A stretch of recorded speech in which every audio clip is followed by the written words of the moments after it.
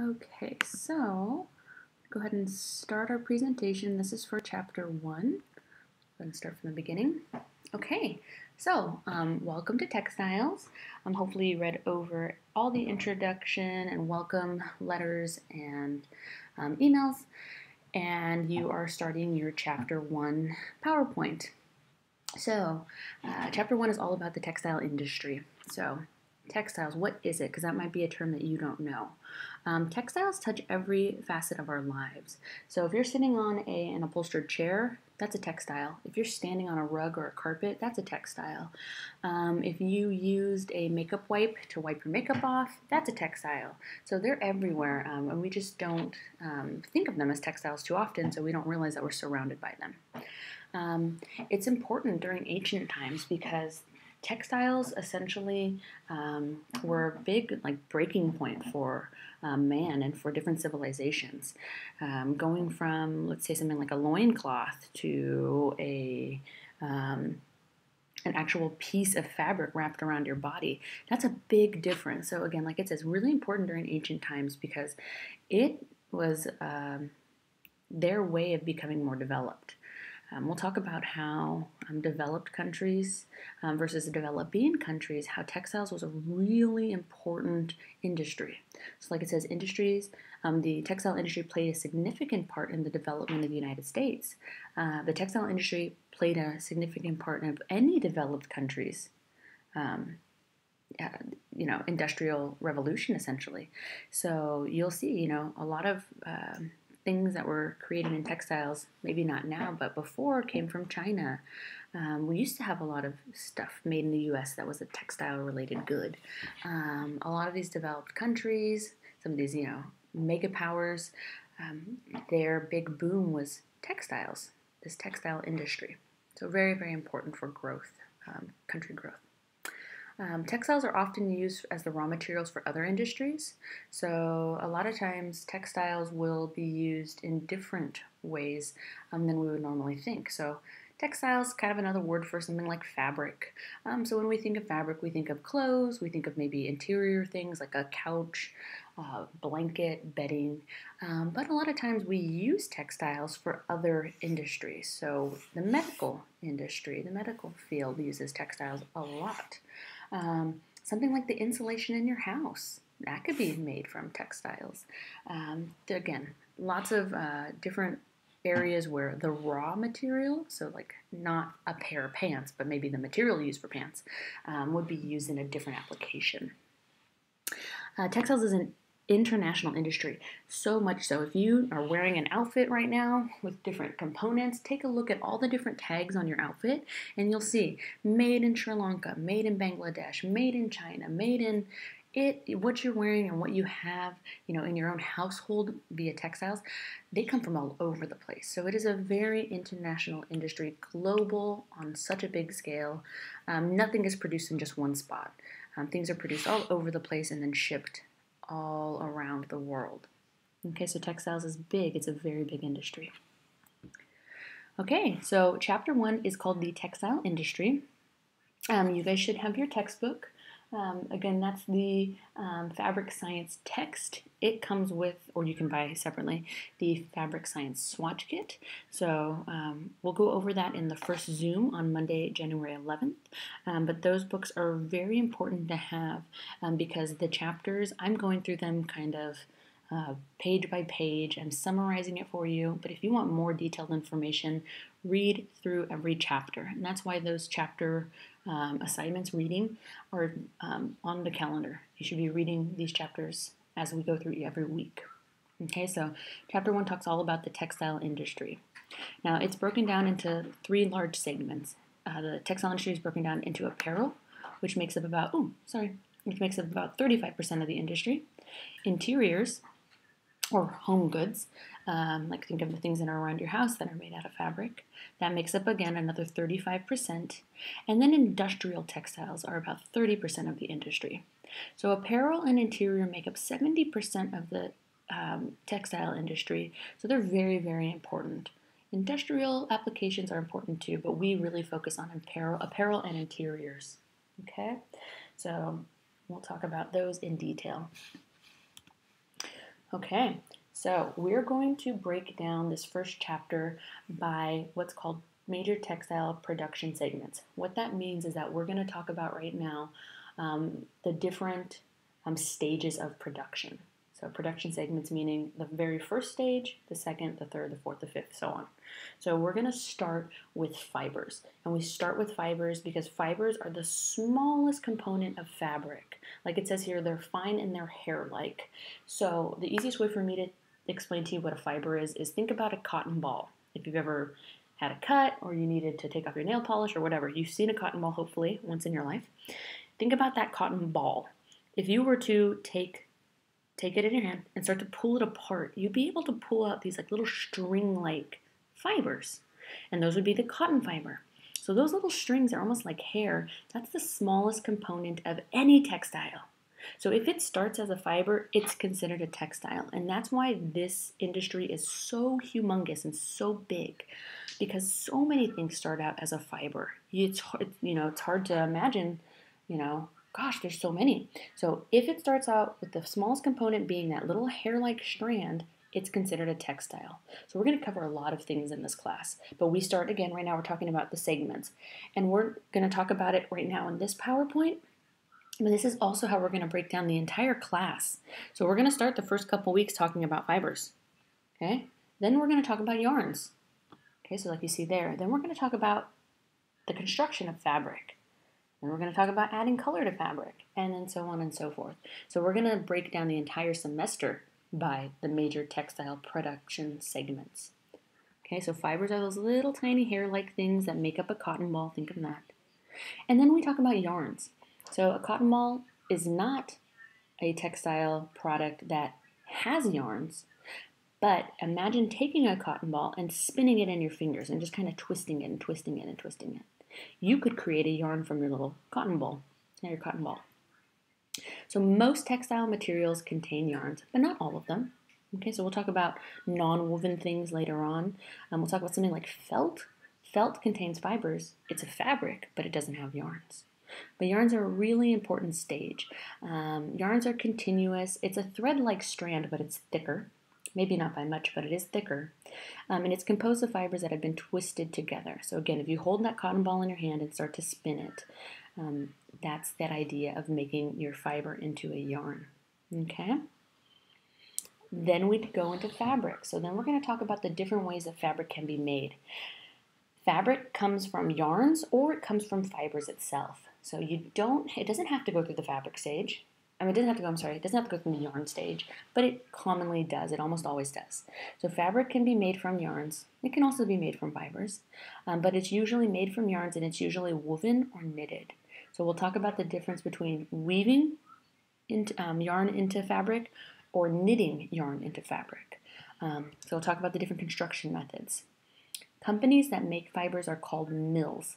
So if you have a woven fabric mill or a knitted fabric mill, um, that is the name for the big giant warehouse, the big giant factory where they're making fabric, where they're weaving it, knitting it, compressing it, whatever they're doing. So there's going to be different names that you're going to need to remember. A mill is one of those. A mill is the company, the place where fabric is made. Okay, not fiber, not yarn, but fabric. Okay. Then we're going to talk about once you have fabric, once you have those fibers, they're made into yarns, the yarn is then made into fabric. We're going to talk about how that fabric is colored or printed, so dyed and printing. So how color or design is applied to that fabric. And that's done in a whole different location also. That's done in what's called the dye or print house. So we'll talk about finishing houses. We'll talk about dyeing houses or printing houses. So that's again another term that you want to remember. It's not a mill, once it leaves the mill, it then goes to a house, and at that house, something else happens. Okay? So, again, important concepts and important terms. Um, finishing, that's the final, final, final step in the process of textile production. So, this is when additional treatments are added before the end use. Um, so, an example of this would be fabric that was made out of cotton fiber, made into cotton yarn. The yarn was woven into um, fabric. That fabric was then uh, bleached and then dyed blue, and then it had white polka dots printed on it. And then the very last thing they did was put a water repellency on it because they want to use that cotton fabric for a raincoat. And you want water to repel off of your raincoat. Okay, so the finish would be that water repellency. Brushing is an example. Um, uh, sunblock, maybe they're putting UV blockers in it, so sunblock was added to maybe a bathing suit. Um, shrink, wrinkle resistance, shrink resistance, um, all of these different things. Softening, maybe they want to make it softer, it's made for a baby blanket. Um, all of these things are examples of finishes. They're not necessarily there for aesthetics, but they're there for function. It's a finish that's made to help the material act better. Okay, it's often um, often happens um, in the same plant where it was dyed or printed. So finishing often happens in the same house where it was dyed or printed. So again, a dye house, a print house, a finishing house. Okay, so that's the name, the term for that location. And then um, we're going to talk about right now textile put up. So, what this refers to is how the fabric is packaged and sold. Um, what that means is that um, this is how it's leaving essentially the mill or eventually the, the house. So, traditionally, one roll, and so think about like a um, uh, wrapping paper for Christmas. That that tube on the inside, that cardboard tube on the inside, something like that is used, and then they wrap fabric around it. Traditionally, they would roll 60 to 100 yards of fabric on one piece, so one round piece of cardboard. Imagine that. Nowadays, to make it more efficient, more cost effective, they're making a thousand yards of fabric, rolling it on this massive, massive roll, and then they put it in a, they wrap it in plastic, they put it in a truck. That truck takes it to, let's say, let's go to Jo-Ann's headquarters, and then Jo-Ann's headquarters then takes that thousand roll or thousand yard roll, breaks it up into 250, you know, 500 uh, yards, and takes it to the west coast and the east coast, those headquarters, and then that from that point, then they break it down into 150 yard bolts, and then it's taken to individual Jo-Ann stores. So the way that textiles are sold is called the put up. Um, it really is quite different than the way that we are that we're used to selling or purchasing textiles. We're used to going to Walmart or Jo-Ann or Britex or uh, Mood and going and looking at a you know a bolt of fabric, let's say not even a roll but a bolt, and saying I'll buy two yards of that, I'll buy half a yard of that. That's not how it's sold. It's sold in a thousand yard rolls. It's sold in a hundred yard roll. Um, so the industry is a very big scale. Um, these things are being sent to um, manufacturers like Levi's or OshKosh B'gosh or uh, Mossimo. So all these different you know places where they're going to need to make a lot of uh, products. Okay, so the put up is quite large in the industry. Okay. Now we're going to talk about where you can get fabric. So we're going to talk about primary sources of fabric, where it comes from from the from the get-go essentially, the very first level. And then we're going to talk about secondary sources. So, the primary sources of fabric, the number one, the first place you're going to get it from is the mill. We talked about this already. Mills are where fabric is made. So that obviously is going to be a primary source because that's where they're making it. So a lot of mills will sell fabric directly. Um, this happens a lot in the southeastern part of the United States. So places like Mississippi, Alabama, even Texas. Um, a lot of these places still have textile mills where they produce fabric and they sell it. Um, and so that's where um, a lot of American made textiles will come from, from the South. Um, there are vertically integrated mills throughout the United States, and there are more overseas for sure, but we do have vertically integrated mills here. And what that means is that that, that, that mill, that big giant facility where they're making fabric, they're not only making the fabric, but they made the yarn, they made the fabric, they're going to bleach it, dye it, print it, and then they're probably going to put the finish and maybe even sew it into jeans. So a, vertical, a vertically integrated mill means that they're doing everything from yarn to the finish process. It might not mean that they're making it into an item, but they're definitely doing everything from the yarn production. They don't make the fiber, or they don't, you know, get the fibers, but they do the yarn production and they do everything to the last finishing process. That's a vertically integrated mill. Okay, so think about it the top of the chain all the way down to the very bottom to the last step. Okay, so those are common in the US. Um, you can also get um, fabric from a converter. So if you get fabric from a converter, that's considered a primary source because what a converter does is they buy something that's called a gray good. Gray good is an important term that will come up on your exams. It's something that we'll talk about a lot. What a gray good is, is it's an unfinished fabric. A gray good is a fabric that hasn't been dyed, it hasn't been bleached, it hasn't been finished, there's no prints on it. It's essentially like muslin. If you've ever purchased muslin at the store, it's just like a very beigey, simple material that you buy for really cheap. You can get it for like a dollar a yard, and it's great to just play with it. You can use it. I love to have it on hand all the time, just to do so many things with it, because it's it's kind of like the paper of fabric. It's just something that you can sketch on. Um, you can cut stuff out, mock it up, do a little sample, and it's not going to cost you an arm and a leg. It's going to cost you a dollar or a couple bucks. Um, so a gray good is an unfinished fabric. Now it's an unfinished fabric of any sort. So if you have uh, like an unfinished taffeta, if you had an unfinished brocade, if you had an unfinished, you know, if you had any of these types of fabric, it's not a very, it's not a specific type of fabric, but it's any fabric that is unfinished. It's not printed, not bleached, not dyed, not there's no finishing on it, nothing. Okay, so it's a, it's a kind of like a bland, vanilla, cardboardy type of fabric. Okay, so the converter is a person that buys unfinished fabric from a mill, so directly from a mill. So the mill made it, the mill hasn't done anything but produce it. Let's say it's cotton. They just took it, they made cotton fabric, and then the converter buys it.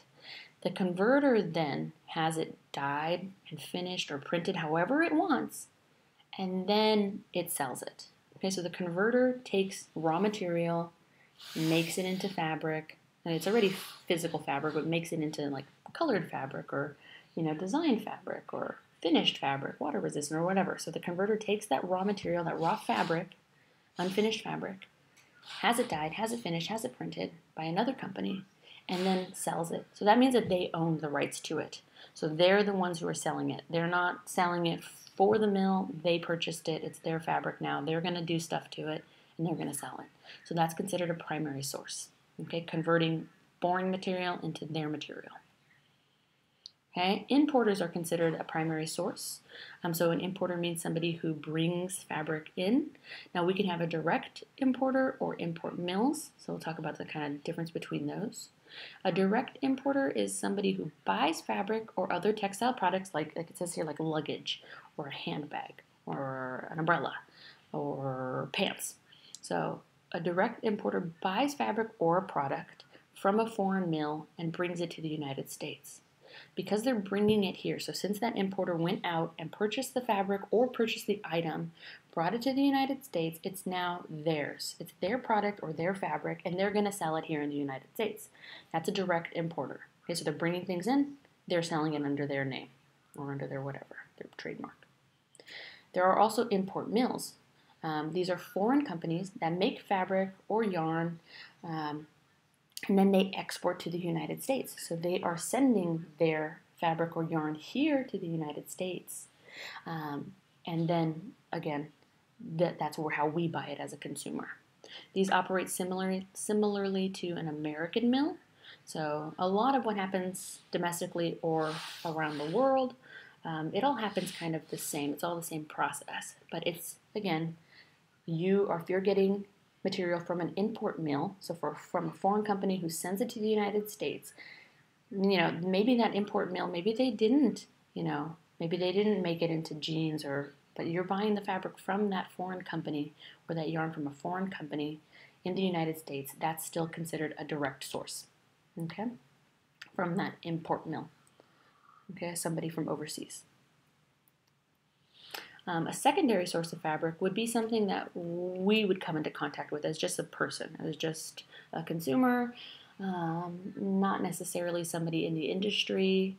Um, even if you, let's say, you have a like you have a small brand. Let's say you have an Etsy shop, and you make, um, you know, like cute little handbags or something.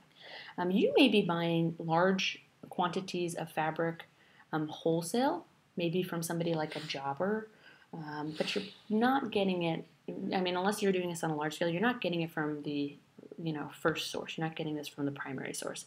You're probably getting that material as a wholesale price from a secondary source of fabric.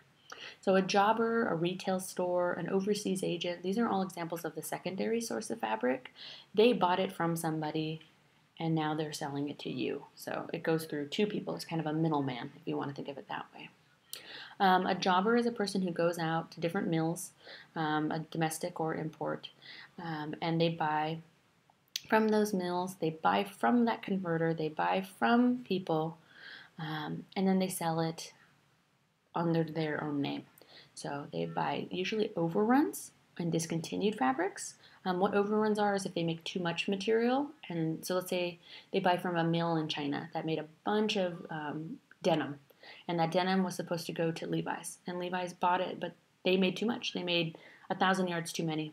And Levi said, I didn't order that, I'm not taking it. So a jobber could go in, say, okay, I'll buy that thousand yards for a cheaper price, um, and then they can sell that to different houses, to tailors, to upholsterers. They can keep it technically and make something out of it, you know.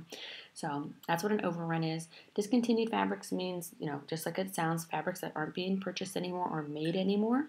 So if it's something maybe that's really trendy, like a print that isn't popular anymore, you can purchase that as a jobber and then sell it at a more discounted rate. So like it says, they sell to small design houses, tailors, and reupholsterers. Um, a retail store is an example of a secondary source. Again, that, that, that like kind of scenario that I just kind of went through of Jo-Ann, where they buy the fabric from a vertically integrated mill, let's say. Um, they get it, they get it, they break down that gigantic thousand yard uh, roll, they break it into bolts and then break it down more and break it down more and then send it to all the Jo-Ann stores around the United States. And then we as a consumer can go in and say, I want half a yard of that. That's an example of a secondary source. It's not coming from the maker, it's coming from a middleman. Okay? And that's why it's expensive. When you buy something at retail price, it's, it's pricey because it had to go through a bunch of different people, it had to be shipped. We'll talk about how the textile industry is a very um, a very bad industry for the environment because of the crazy amount of shipment and shipping that happens in the textile industry. Um, there's some great videos below this in the uh, module under chapter one videos. Um, really good videos that kind of talk about man, textiles go all over the place. So it's a really bad industry for the environment because of the shipping that happens and all of the imports and exports. Uh, speaking of that, overseas agents. So if you were to get fabric from an overseas agent, um, this person represents the importer or exporter of the country where it's doing business, um, but it's not essentially it's not the the primary source. So it's not. It, this was now this overseas agent is representing the mill or is representing the company or is representing the purchasing. Um, so again, another middleman there. This person's taking some money. This person's not doing their job for free, so it's going to cost you more. So these secondary sources of fabric, um, these are going to be more expensive because again, there are more people in the line. There's that middle person. Okay.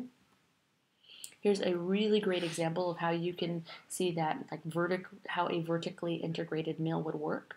Starting with fiber production, they do yarn, you know, they make the yarn. They they have the mill where they make the fabric, where they weave it or knit it. Um, they send it to an independent converter, maybe, or they are the converter, so they decide what you know how they're going to dye it, or color it, or print it, or whatever. Then it goes to the production. Um, manufacturing. So then it goes to okay. So this is the vertically integrated mill area. Then they sell it to um, Ashley Furniture Store, and they make it into a couch and then you know, or a jobber, or you know, directly to the retailer, so on and so forth. So it has to go through a bunch of different stages, and these are those segments, those production segments that we're talking about. Fiber production, you know, this can happen. Fiber production could mean a giant field of cotton. That's fiber production. This could mean a really big facility where they're making polyester fiber, a really stinky facility where everything's melting. So fiber production is the first stage and they send it to yarn and textile, and then again it goes through these different people. And if you have more middlemen in here, if you have an independent converter, and then a production, and then wholesale, and then retailer, all this, this is going to cost you more money. Okay, so this is we, have to kind of keep this in mind, and this is why we say vertically, vertically integrated when someone takes over a bunch of the different steps. This comes directly from the text. Okay, Um, let's just talk about a little bit about what domestic and import means. It, it sounds like what it is. It is 100% what you think it is, but I'm just going to break it down a little bit, just to be a little more helpful.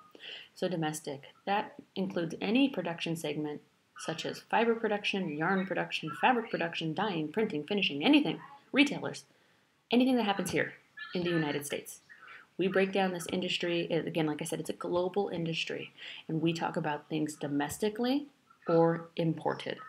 If it happens here, it's domestic. If it happens somewhere else, it's an import. Okay? Any, it says, and any non production segments, which include trade publications like a magazine. If anybody knows what WWD is, Women's Wear Daily. Vogue magazine, that's something that's really important for textiles. That's a trade publication. Um, textile testing services, so a laboratory that tests the stability and the strength of a specific type of denim, let's say. If it's happening here in the United States, that is a domestic textile testing facility, okay, or service. That happens here, domestic. Trend forecasting services, um, color services like Pantone. If that, if their headquarters is here, if that is happening here, they're a domestic company. A lot of places have domestic and import. So when it comes to textiles, there are a lot of companies that work 100% globally. They've got a headquarters here, let's say in New York or LA, and then they also have headquarters in Milan, and then they have one in China, they have one in Bangladesh, all over the place. Because again, this is such a global industry. Import is the opposite of domestic. It's a major source of apparel for the United States because we don't produce a whole lot of apparel here anymore. Yes, like I said before, we do still produce fibers. We still do have some mills in the South, but we don't produce a lot of apparel. We don't. That's a textile that we don't make a whole lot of. Like again, we make fabric, but we don't make the apparel. We may take our fabric, ship it overseas to China, to Sri Lanka, to Bangladesh, to Vietnam, to all these other countries where they're going to make it into a dress, into shorts, into jeans. Sorry, that's my little dog. He is 15 years old. Um, you'll hear him in my videos often. I apologize. He's old and he has a bad cough. Um, and you'll also hear him pitter pattering around the house. He has pretty short nails, but he's got little funny pads, so he always makes little uh, sounds when he walks. You may also hear my children in these, so I apologize for that also. Uh, my son's in class and we do Zooms at the same time. So, again, import is anything that comes from overseas. Um, we get a lot of our apparel imported.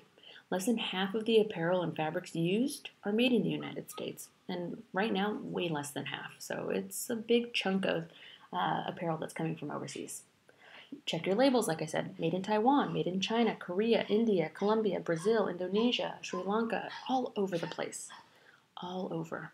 Okay, we get stuff from all over the world. Why? Why do we do that? Production in low wage countries is very cheap compared to production that would happen in the United States. We make what? I think $12 is our minimum wage right now. I'm not exactly sure.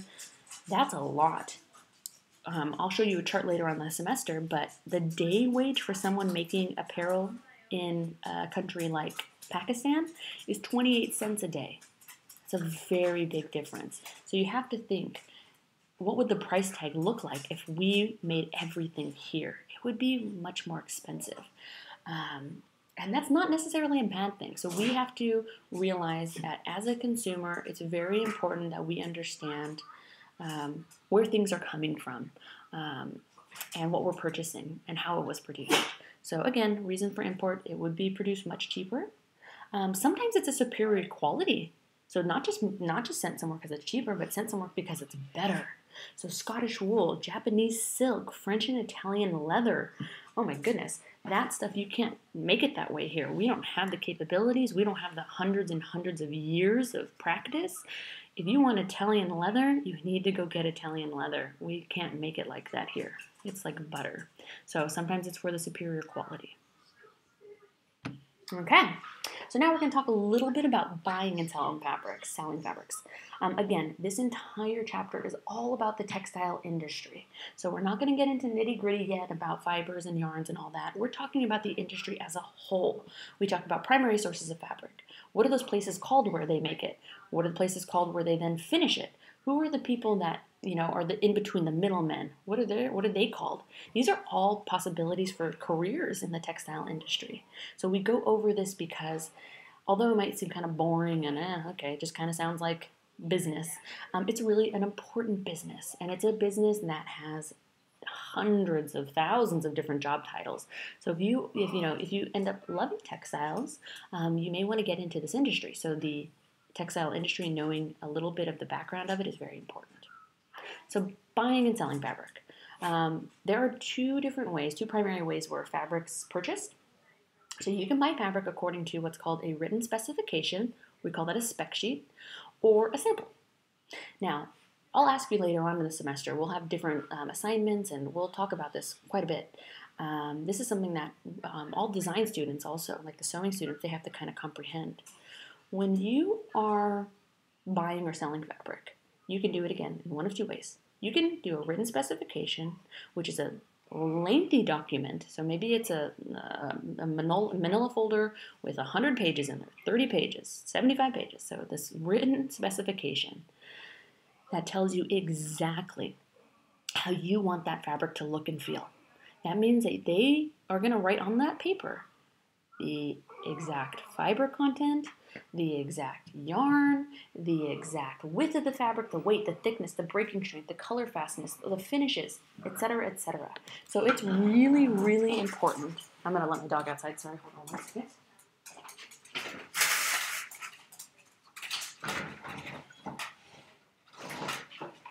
Sorry. Uh, clawing at the back door. Um, it's really important that with these written specification that the person who is making the fabric makes it exactly like it says on the written specification sheet or within that document. That means that if I am buying, I am the purchaser, I am buying a thousand yards of denim. I like denim. I'll use it all the time because we all know what denim looks like. It's got an indigo blue color. You can sometimes see these like white yarns that come out of it. Um, we all know jeans, they're made out of denim, typically. So I say that I want a company, I want a mill to make me fabric that is exactly, you know, 60 inches wide. I want it to have white, you know, threads going one way or yarns going one way, blue yarns going the other way. I want them to be, you know, this thick. I want it to be this strong. I want it to hold up when wet, blah, blah, blah. If I get that fabric, they make the thousand yards for me. They send it to me. I look at the fabric and I say, Ooh, you know what? You put the white yarns the wrong way. I asked for the white yarns to be going this way and the blue yarns to be going that way, and you messed up. So I'm going to send back that thousand yards of fabric and you're going to make it for me again. So it's important that if you're buying or selling, especially fabric based off of a specification, off of a spec sheet, that you do it exactly the same. That's different from a sample because if it's a sample, I say, oh, I'm at the store, I, I, I love these jeans, I'm going to take a sample of this material, chop it off the jean, I'm going to send that to the manufacturer, and I say, I want the fabric to be just like this. And the producer must make it as close to it as possible. So it must be almost identical to the sample. The sample is a representation of what the buyer will later receive. So if in reality the sample that I gave them was 100% cotton, but what they gave me back was 90% cotton, 10%, oh, I don't know, linen, let's say, say something else that's natural, um, that's okay because it was pretty much identical and it didn't make a huge difference to like the aesthetics of it or the way that it worked. And it was pretty much the same. But maybe it was a little bit cheaper to use a little bit of linen, so they did that instead, or flax, they added that in. Okay, so the difference between a spec and a sample is vastly different. You need to get exactly what you ask for with a written specification, and you're going to get something really, really close with a sample. Okay, now let's talk about private labels. Private labels are something that we come into contact with all the time and we just don't realize it. So these are retail brands. So Target, Target has a million private labels. They've got like the Rose Bud, I think it's called. They've got Mossimo. They've got um, Auxiliary or Xhilaration or whatever it is. They've got a ton. Macy's has INC. Kohl's has Vera Wang and Laura Con, Lauren Conrad. Um, a private label is a retail brand. Um, apparel or other sewn products like a handbag or umbrella or hat or backpack Um, so apparel, other sewn products are manufactured specifically for a retailer. So Lauren Conrad has clothing, handbags, hats, all that kind of stuff specifically made for Kohl's, so for the retailer Kohl's, and it's sold exclusively by Kohl's. That's a private label made for that you know larger company, and only that larger company can sell it. Okay, like it says, this is a rapidly growing part of the textile industry. These are very, very common. Sorry, closing the door. So, again, we come into contact with these all the time. We just don't realize that that's what it is. So, private label, again, you go to Target, even Walmart, um, you go into a place like Macy's, Nordstrom's, uh, Kohl's, a lot of private labels. Something like Levi's is not a private label unless it's a Levi, you know, oh, I don't know. I'm trying to think of Levi's uh, private label for Target. Levi's does sell a type of jean just for Target, and I can't remember what the what the name is. But Levi's are sold all over the place. They're sold at Kohl's, they're sold at Macy's, they're sold at Nordstrom's, they're sold at the Levi's store, they're sold at Target, all over the place. Um, so that's not an example of a private label. If they have a Levi's, let's say, uh, Go, you know, let's say it's a Levi's and the and the brand is Go, and that's only sold at Target, that would be considered a private label. Okay, the private label of Levi's. Okay, so um, very very rapidly growing. A lot of companies sell private labels. Um, because it makes it feel like it's you know more specific. It makes it feel more expensive, better quality, and sometimes it's not. So it just, like I said, it's a growing part of the industry. Um, there are extensive facilities with state-of-the-art design and workrooms. So a lot of these private labels, you know, they do have um, better machinery, better um, production. So sometimes they are more expensive. A lot of times they are more expensive than the just, you know, the house labels. So they're going to be more expensive than just Walmart brand or Target brand, or you know, if Macy's had just Macy's brand, um, it would just be a little bit more expensive because of these, you know, better facilities and better production. Um, a major part of these sales involve import goods, so a lot of this, uh, a lot of what's being sold as a private label is imported, and then it's stamped with that label, so then they can sell it as a private label. Um, retailers maintain offices and staffs overseas, um, again, because a lot of stuff is being imported. Okay, market and production planning. Um, so, what we're talking about here is we're talking about the stuff that happens before. So, before it goes into production, before there's an article about it in you know WWD, you need to plan for that. So, each segment of the industry, apparel, interior, and industry, um, each segment of the industry must plan well ahead of time for the next selling season. So they don't just start making something in January to sell in February. That's not how it works. There's a lot of planning that goes into this. Um, I work in photography, and so when we sell a product, we sell, you know, we, we photograph that product that's going to hit the stores eight months in advance. And that's just for the photography, that's not for the production of it. So this happens far in advance. Um, many operations must be performed before finished fabric is actually made. They need to plan for a ton of different things. A lot of stuff has to happen before, you know, the finished fabric is actually completely completely made, um, and after it goes through all those processes. So the design of woven fabric for apparel. So let's say the design for jeans or denim, you know, denim for woven jeans, which is an apparel product. That usually happens one and a half to two years before the designs will appear on the rack. So just producing, just making that special denim for those jeans, that planning happens a year and a half to two years before you'll ever see it at the store. So again, this there's a lot of planning that happens. New fabrics are shown at what are called fabric trade shows um, Delta, we used to take students to trade shows, and that was so much fun. We used to take students to Magic, Project, um, and Pool in Las Vegas. Um, and these are really large trade shows um, that happen, you know, depending on what the industry is, um, two to four times a year. And at these events, uh, people are able to purchase fabric um, in advance. They're able to see it fresh off of you know off the spec sheet, and then they can buy the product or the apparel um, or the good um, and then have it ready for the new season. They're going to be the first ones to have this type of jean or the first one to have this type of dress or whatever it may be. Um, there are different seasons. So, talking about seasons, um, there are different seasons for the different parts of the industry. So, for apparel, the retail selling seasons include spring, or sorry, fall, spring, summer, and holiday. So, when you go to the store to buy clothes, if you're, you know, if it's starting to get a little cool out, let's say it's October, you're going to want a cute, poofy sleeved sweater that's long and oversized and maybe it has a pumpkin on it. That's going to be your fall apparel. So that's a season. You wouldn't buy that in summertime. You wouldn't buy that during um, you know spring. That's apparel made for fall, purchased in fall or sold in fall. Springtime.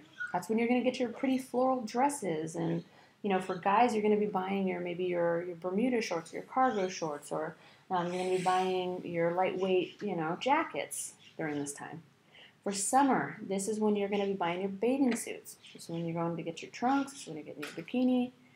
Holiday, this is when you're going to be buying those beautiful coats, your, your, your, your evening dresses, your cocktail dresses, all different seasons. So we sell apparel during four different selling seasons fall, spring, summer, and holiday. That's different than interiors. So remember, interiors is a different part of the industry.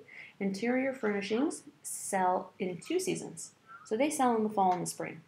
Because although, yeah, you may buy yourself like a decorative uh, Christmas pillow, or you may buy yourself some cute like throw blankets for Halloween or you know for the fall, that's not a very um, you know it's not going to be a big purchase. Where your couch, you know, you're going to keep that couch and you're going to keep it for a while. Your drapes, um, your upholstered fabrics, your rugs. So yes, we do sell different seasons 100%. You may get curtains for spring and then curtains for, you know, the cooler seasons, fall or winter. You may purchase, you know, blankets or bedding, especially bedding. You might buy those flannel sheets in the fall so you can use it in the fall and the winter, and then you switch to just your 100% cotton in the spring and the summer. Okay, so interior only has two selling seasons, fall and spring. We kind of we skip the holiday and um, winter. Furniture, fabric, and floor coverings, that has one season. So, like I said, the couch. You're not going to buy a couch in the fall and then switch it out in the spring. You're going to keep it. You're going to keep it all year round. You're going to keep it for years on end. Um, your chairs in your kitchen, if they're upholstered, let's say, you're not going to trade them out all the time. But, you know, you might buy a new one in a couple of years. So there's one season for fabric, um, furniture, and then floor coverings. Um, and that one happens in spring or September. I'm sorry. September is a big month for the textile and fashion industry. So if you've ever maybe got a magazine in September and you're like, why is it so big? September is the month for new stuff. It's the month for new apparel. It's the month for new interiors. It's the month for new furniture. It's the new month. So the that September issue of Vogue is you know, 400 pages because that's when everything new is coming out. September is a big selling season. Okay, big selling. Month. Industrial fabrics, they're not seasonal. They're not changing. They're essentially the same all the time. There are differences, but they're not gonna like market that.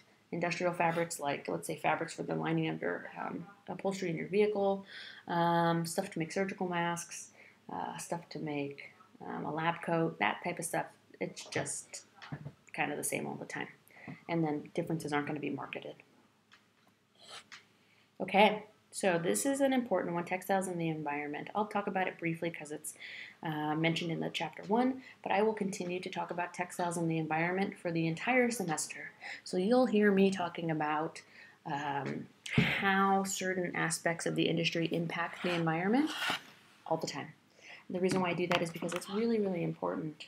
Um, many environmental problems relate to the textile industry. Things like air and water pollution, waste disposal, workers' health.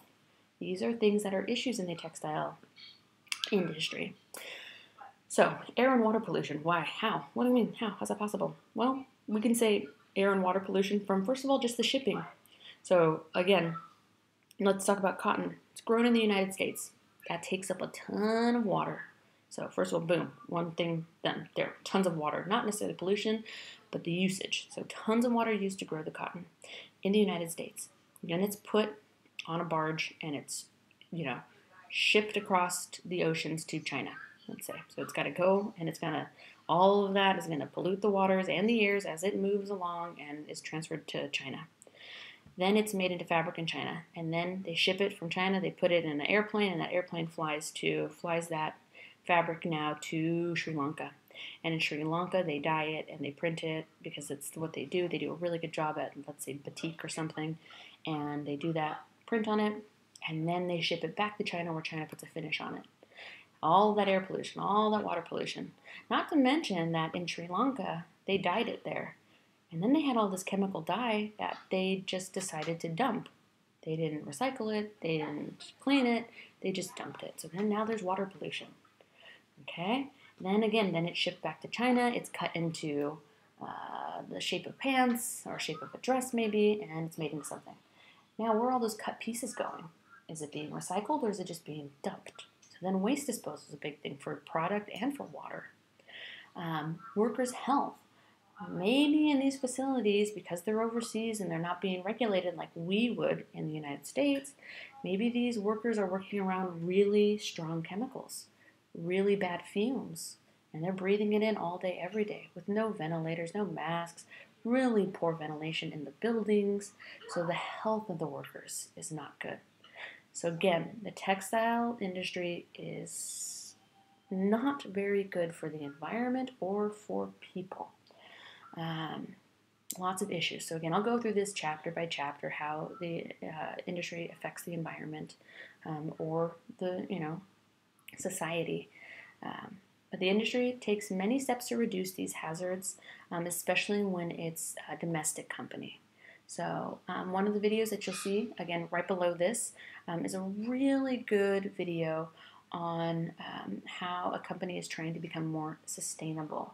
Uh, Oeko-Tex is a company that makes textiles that you can find at um, you'll find them at Kohl's. You can find them at Target. It's so funny. You can find it everywhere now, and it's one of those um, brands where they definitely are putting money into their name and into their brand and their trademark.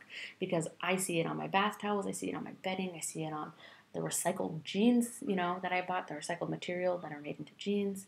So it's a good company, and it does a really good job in that video of talking about um, the textiles and the environment and how companies are changing and how companies are really trying to reduce um, the different hazards. So, cleaning and filtering out water and fumes, so air filters in these facilities so that the air that exits the facility is not contaminated. Um, water filtration, cleaning out the chemical, you know, dye bath and reusing it. So reusing that water, cleaning out the chemicals, putting the chemicals to use again, recycling, reuse of chemicals. Um, monitoring of noise levels and air quality. So that's something that we don't think about as noise, but there's a great video. There's a there was there used to be a great um, documentary on Netflix called Maquiladoras, and I don't think it's on there anymore. But if you can find it, it's about a textile facility, a textile um, mill in Mexico. Um, where it was so noisy that they said that they never heard birds anymore that they used to hear birds all the time. They used to have this beautiful stream that would run through the town, and there were no longer birds chirping, and the stream was now green, just rotten green gunk, um, and all because of the textile mill that was there. So, again, companies and brands and corporations are trying to change this, but because we're such a global industry, it is hard to keep track of it. I'll go over more of this in detail as we go through the class. Um, there's a good video down here, so if you want to go ahead and click on this link here, it'll take you to a cool video about Levi's waterless jeans. Um, there's a similar video below in the um, supplemental videos, but it's different. So if you want to click on this, this will take you to a really cool video that talks about the way that Levi's is doing this new waterless jean. So again, um, this is an older uh, stat, so far more um, gallons of water have been saved. Um, but um, gosh, I think a year ago when I put this on the slide, 4.5 million bathtubs worth of water had been saved, uh, 770 million water bottles, 3 billion glasses, drinking water for almost 900,000 people, for almost a million people for an entire year. And this was literally Levi's way of doing exactly, producing exactly the same product, but with less water. So this is a really cool initiative that Levi's has put um, together. And again, you may even see this on your jeans that you have. um, because this, is, this started a few years ago. So it's becoming very popular and it's getting picked up by other companies. So this is an important thing to know that um, uh, these companies that are the uh, groundbreakers for environmental change, if it's a popular company like Levi, if it's a popular company like, you know, someone from Target or Macy's or um, Forever 21, if they start it, that's how it becomes trendy. And it's very important that we as consumers understand these changes and how they're very important. So it's great when a company like Levi's does something like this to make a you know a big push to do better for the environment. Um, recycling is a way that the textile industry can save so much waste. So the waste of one company often becomes the raw material for another. So soda bottles and polyester fabrics are melted and used to produce new yarns. There's some great videos, again, in the supplemental video section. Please take the time to watch them because if this doesn't make sense to you with me just talking through videos or talking through slides, the videos show you and you can actually see them taking a water bottle, everything from the outside label to the cap still on, and how they turn that into a new jacket, into an umbrella, into a couch, into whatever. So it's nice to watch those videos because they show you the processes. Okay, so again, soda bottles and polyester fabrics being reused. Um, plastic soft drink containers are melted and used to make fibers for uh, carpets. Um, Target is really good. I love Target just because it's you know got everything a mom could need. But Target's really good about having brands like the B brand for children's toys. Um, they're awesome because they use recycled plastic for everything. They use recycled materials for everything. So the cute little teepee that you have in your kids' room, made out of old water bottles, all of the clothes, all of the stuffed animals, the dolls, the plastic made for that little piano, all of that was something else before. And instead of it becoming waste and sitting in a landfill, it is getting turned and turned into and used in a different way. So re- recycling is very, very important for um, the you know the lifespan of a textile. Um, gin waste, so a cotton gin, the waste, just like the cotton that falls on the floor, let's say, or is on the side of the machine, or not the stuff that is going, you know, into yarns and going into fabric, but all of the gin waste, the stuff on the side um, from cotton processing is used to produce novelty yarns. So they use it to make special types of yarns that have a special look to them. Okay, so recycling is important. Um, available landfill space is limited and costs are high. Uh, me and my family watched that movie Idiocracy recently. Good morning. Oh, go ahead. Jack's over there. Um, and their big thing is landfills. Landfills are filling up to the brim because people don't realize that there's only so much space. That's a real thing. Landfill space is limited. It's expensive to keep garbage. Um, therefore, recycling of non hazardous waste is essential. Um, I heard a really great article one time or a new segment about a garbage barge off of the coast of New Jersey having to float all the way down to Florida, back up to Jersey, then across the ocean to China, then back and forth. This barge was in limbo. It was a massive landfill barge just full of garbage, and there was a bedpan, and that's considered hazardous waste. And somebody saw it at the facility in Florida where it was supposed to be dumped, and they said, We're not taking that, there's hazardous waste on it. Nope, you gotta send it somewhere else. And they stamped that contains hazardous waste material on that barge, and nobody would take it. So it literally stayed in limbo for a very long time. That's a real life thing. Garbage just doesn't disappear, it has to go somewhere and it has to sit somewhere. It's taking up space, it's taking up resources. And that's why recycling is so important super important for textiles because you can recycle so many aspects of textiles. Okay, so an increased awareness on the part of the consumer, on you and me and everybody, will create consumer demand on a market for these products. Again, if you realize that, ooh, that B brand at Target has that cute piano and it's made 100% out of recycled plastic, maybe I'll buy that piano instead of the other piano, which is just made out of brand new plastic. So you just have to, you know, be um, uh, educated consumer. It makes a very big difference for everything that you're purchasing. Um, Raw for the Oceans is another example of a brand where they're trying to do better for the environment. So they have something that's called a bionic yarn. And these are high performance textiles from plastic recycled from the oceans around the world. The fabrics themselves are made from a blend of cotton and newly recycled plastic fibers. So you get kind of all the great benefits of all the different types of fibers. Um, waste in plastic and garbage in the ocean outweighs fish, har- fish harvesting three to one per pound, which is crazy. One of the good things, I know it sounds crazy, but one of the good things about the whole you know pandemic um, the oceans are seeing kind of this new rebirth where we don't have as many ships moving back and forth. We don't have as many people near the coastlines dumping. Um, so I know it sounds crazy, but there are some you know blessings in disguise with all of this that's happening.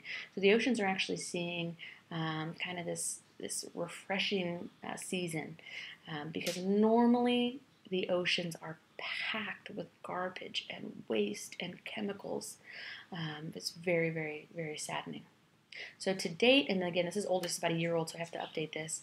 Uh, Bionic Yarns have removed at least 10 tons of plastic, probably closer to 20 tons of plastic for just this project alone, just this one single brand of clothing.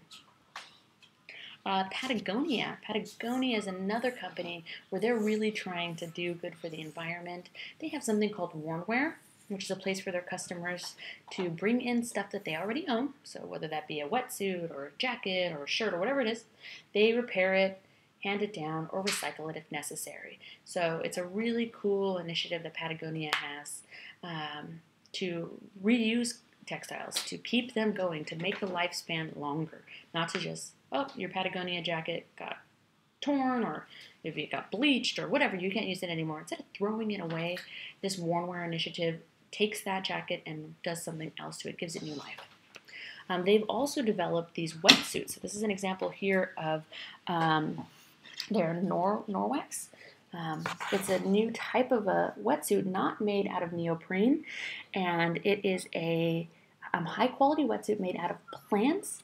Um, and other uh, companies are starting to, other competitors are starting to make fabric similarly. So this is a great video here. It's from the New York Times, so you can't find it on YouTube, so just copy and paste this, watch this video. There's a similar one in our um, module, um, but this is a great, uh, again, initiative for the environment to stop using that neoprene, which is essentially just a fossil fuel, it takes a lot of work to get it. It's very dangerous. It's very bad for the environment. And then, you know, how long does your wetsuit last? Um, wetsuits, though, that are made out of neoprene are really strong. But that, again, is the reason why these wetsuits are so great. They're of, you know, comparable quality, but made out of this plant. So, you know, lots of companies are, you know, trying to do better. Um, fair trade is a movement that affects the textile industry, and it's something that is becoming very popular, which is great. So if you see something that has a fair trade stamp on it, it's normally like a circle with the, the shape of a silhouette of a person on it. Um, if you see that stamp, that approval on it, that means that these products were made without labor exploitation, so no child labor, no slave labor, people were paid, and it wasn't done, you know, for free. They use environmentally sustainable practices, so the environment was kept in mind when these things were being produced. Producers receive fair prices, so they're being paid fair prices for their products. And it especially refers to developing countries who sell to companies in developed countries like us in the United States. Okay, so it's really important if we're purchasing stuff from Sri Lanka, from Bangladesh, from India, from China, not even China, but um, you know, from all these other developing countries. China is developed, but from the developing countries, we're buying stuff from them. We want to make sure that it has that fair trade stamp because we want to know that those people were taken care of, that the way that the environment was treated was correct. Okay, mostly affects agricultural products like coffee and fruit and sugar and flowers and a lot of what you see, what you have in your refrigerator or in your pantry, but it's becoming very popular in the textile industry. So cotton apparel has already been completely certified in Europe. So anything that comes from Europe, um, that's that's a cotton apparel product. So very specifically, cotton and apparel um, has to be fair trade. So that's awesome that Europe, you know, is doing this. Patagonia, another again, this Patagonia, most people know that it's a very expensive brand, but it's expensive because they don't want you to buy a new jacket every season. They expect you to buy the jacket and use it for a long time. They make it really high quality so that you can use it for a long time. They're not the Forever 21. They're not selling you a jacket for you know 20 1999 they're selling you a jacket for $500 but they expect it to last a lifetime. And then if it doesn't they have those initiatives in place where you can recycle it or have it turned into something else okay? They also patagonia also does this fair trade initiative. A nonprofit organization fair trade usa works to improve the lives of farmers and factory workers around the world with trade not aid so they're not giving these people handouts, they're just treating them correctly. So fair compensation for their labor, safe working conditions, safeguards against child labor, making sure that the environment is in, you know, in mind. So this is very important. And again, Patagonia is a great company. Um, they keep a lot of environmental and social um, aspects in mind when they're producing um, all of their goods. Okay, so, again, we go through this is a very quick review of the industry. There's so much to talk about. Please read chapter one in the textbook because it goes into detail with everything. Um, the textile industry is one of the largest and most diverse business segments. It's efficient, it's modern, and it's truly global. We've kind of gone over all those things. Textile industry combines art, engineering, technical styling, marketing, business, photography, uh, uh, you know, uh, publication, everything to produce the correct aesthetic, performance properties, and value. Okay, so all of these things work together to make these final products, these end, end products that we so, so commonly use. Um, many careers in textiles do not have the visibility of like a designer. So we know Vera Wang is for Kohl's because we know who Vera Wang is. She was a designer. She's a designer. Um, we know that designer name. But below her are thousands upon thousands of people making those products available at your local store. Okay, so tons of careers within this industry. Again, not all are super visible, so many people are unaware that they even exist. Um, students might be concerned with the large number of textiles and related products that are being imported. And yes, a lot of things happen overseas. But there's still a lot that happens here. So there's a growing volume of imports and exports within the industry. So we are producing certain things here and exporting them out. We are importing in, so there needs to be that import agent. There needs to be that middleman that deals with all of the imports. So there are still a ton of career options within just that field. Um, foreign textile corporations have facilities here in the U.S. So even though it may be um, like Zara is a um, is a uh, European company, and but you know, there's a Zara headquarters here now. There's a Zara's corporation here, facility here. Um, retailer private label programs are increasing. So again, that might be something that's produced overseas, but they've got the private label headquarters here, or so on and so forth. Um, there's a need for textile savvy people within the import sector. What'd you say? Oh, okay, got it, got it, got it. Um, so there um, is a great need for people who are savvy to the new technology, you are savvy to all of the things that are textile related. Okay, so if you, again, if you enjoy this class, you may want to consider um, looking for a career in the textile industry. I have a nice list here of the different positions and specialties, like a textile converter, we talked about that already, someone who buys a great good and then transforms it into what they want. The textile designer or colorist, someone who you know designs the look of the textile or chooses the colors for it. Um, Pantone is a wonderful um, colorist company, and they deal with everything related to interiors and apparel. Um, color and trend forecasting, again, just like Pantone.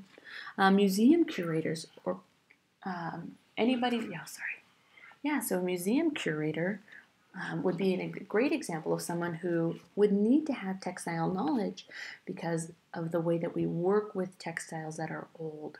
So it's very important that when you're handling older garments, older textiles, that you're, you know, very careful. So you would need to be savvy. You would need to have textile knowledge to um, enter that career. Environmental protection, textile research, textile production, specification writers, coordinators for sales and design, a PR someone who works in public relation or advertising, sales, domestic and or import, sourcing specialist, so on and so forth. There are so many career options in textiles. Um, it's definitely a field where, um, if again, if you like this class and it's something that you um, think that you would enjoy, uh, getting a degree in textiles um, is a good idea because there is a need for people in the industry. Okay, so that's it for chapter one.